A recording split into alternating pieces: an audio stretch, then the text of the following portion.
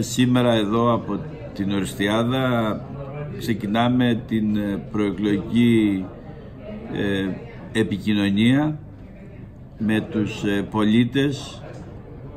Θα προσπαθήσω να πάω σε όσο δυνατόν περισσότερες περιοχές σε όλη τη χώρα, σε μεγαλύτερες και μικρότερες πόλεις, γιατί πιστεύω πραγματικά ότι οι υποψήφιοι ευρωβουλευτές πρέπει να αφιερώσουμε πάρα πολύ χρόνο να συζητήσουμε με τους πολίτες, να τους εξηγήσουμε το πώς λειτουργεί η Ευρωπαϊκή Ένωση, πότε κανείς παρεμβαίνει στην νομοθετική επεξεργασία στην Ευρωπαϊκή Ένωση για να την επηρεάσει, τη σχέση που πρέπει να έχουν οι ευρωβουλευτές με τους πολίτες και τις τοπικές κοινωνίες. Και για μένα η Ορεστιάδα είναι και ο Εύρος συνολικά γιατί θα είμαστε και στην Αλεξανδρούπολη κλπ.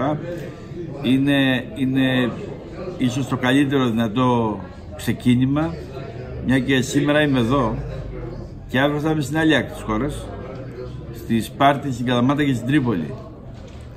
Η, η προσπάθεια σας είπα είναι, είναι μεγάλη. Εγώ αυτό που έχω να προσφέρω σε αυτή την ε, ε, προσπάθεια είναι την εμπειρία μου. 30 και πλέον χρόνια σχέση με τα ευρωπαϊκά πράγματα. Είμαι 20 χρόνια πρόεδρος στην Ευρωπαϊκή Συνομοσπονδία και 9 χρόνια μέλος στην Ευρωπαϊκή Οικονομική και Κοινωνική Επιτροπή. Την αντοχή μου που ελπίζω να την κρατήσω μέχρι τέλος και το χρόνο μου. Και πιστεύω το αποτύπωμα που έχω αφήσει όλα αυτά τα χρόνια και στην Ελλάδα μέσω του αναπηρικού κινήματος και στην Ευρώπη μέσω της δουλειάς που έχω κάνει σε πάρα πολλά πεδία. Ο χώρος της κεντροαριστεράς ε, κάνει μια μεγάλη προσπάθεια να αποτυπωθεί στην ελληνική πολιτική ζωή και πάλι ως ε, η δύναμη που μπορεί να προσφέρει τη δυνατότητα το πολιτικό σύστημα να ισορροπήσει για να μπορεί και η χώρα να μπει στην κανονικότητα.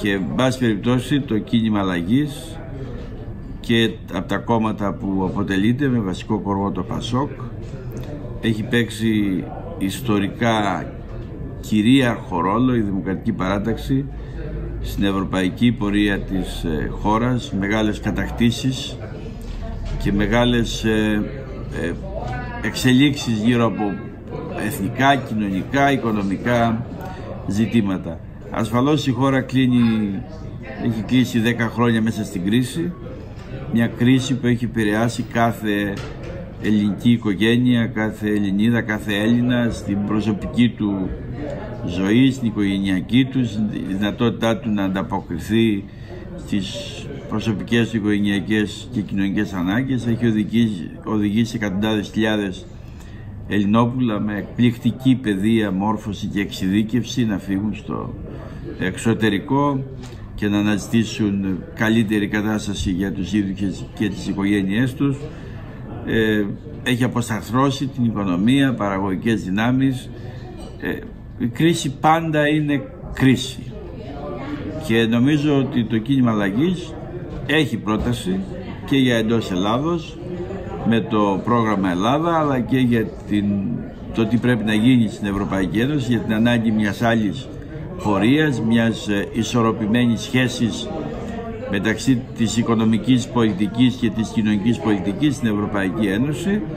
Ε, ο οικονομικός νεοφιλελευθερισμός έχει οδηγήσει την Ευρωπαϊκή Ένωση σε αυτήν την κατάσταση να έχει χάσει τη σχέση της με τους ε, πολίτες πιστεύουμε ότι το κίνημα αλλαγής που είναι ο πραγματικός εκπρόσωπος και εκφραστής στην Ελλάδα του Ευρωπαϊκού Σοσιαλιστικού Κόμματος και ο Φραντ Τίμερμαν που είναι ο υποψήφιός μας για την Προεδρία της Ευρωπαϊκής Επιτροπής μπορούμε να προσφέρουμε, προτείνουμε μια άλλη διαδρομή, ένα άλλο δρόμο στην Ευρωπαϊκή Ένωση για να ανταμώσει πάλι τους πολίτες. Οι δύο μεγάλες πολιτικές οικογένειες η χριστιανοδημοκρατία και η σοσιαλδημοκρατία που είχαν αυτόν τον μεγάλο συνασπισμό που διοίκησε και κατεύθυνε την Ευρωπαϊκή Ένωση από τη γέννησή της μέχρι σήμερα βρίσκονται σε αδυναμία να προτείνουν όπως και στο παρελθόν ε, ένα νέο αφήγημα. Και γι' αυτό είπα μόλις νωρίτερα ότι οι, οι πορείες, οι προτάσεις των χριστιανοδημοκρατών και των σοσιαλδημοκρατών σήμερα απέχουν. Έχουμε από μια μεριά τους χριστιανοδημοκράτες με σκληρή γραμμή πάλι νεοφιλελεύθεροι. Ε, και όπως είπα νωρίτερα εμείς οι σοσιαλδημοκράτες το Ευρωπαϊκό Σοσιαλιστικό Κόμμα δείχνει άλλο δρόμο για να ανταμώσει η Ευρωπαϊκή Ένωση στους πολίτες. Και απαντώ τώρα στην ερώτησή σας για τον ευρω, ευρωσκεπτικισμό το μεγάλο πρόβλημα που υπάρχει είναι ότι ακριβώς επειδή οι δύο μεγάλες οικογένειες έχασαν τη δυνατότητα που είχαν για πολλές δεκαετίες άφησαν δρόμο στους λαϊκιστές, στους μαγωγούς, στους σκεπτικιστές, σε αυτούς που θέλουν λιγότερη Ευρωπαϊκή Ένωση, σε αυτούς που θέλουν λιγότερη Ευρωπαϊκή Ένωση που αφορά τους αδύναμους, που αφορά τα δικαιώματα, που αφορά το κράτος δικαίου, που αφορά τις βασικές αξίες πάνω στις οποίες χτίστηκε η Ευρωπαϊκή Ένωση, όλες αυτές οι δυνάμεις λοιπόν έχουν ε, ε, παίξει μπάλα που λέει ο λαός σε ένα γήπεδο που το άφησαν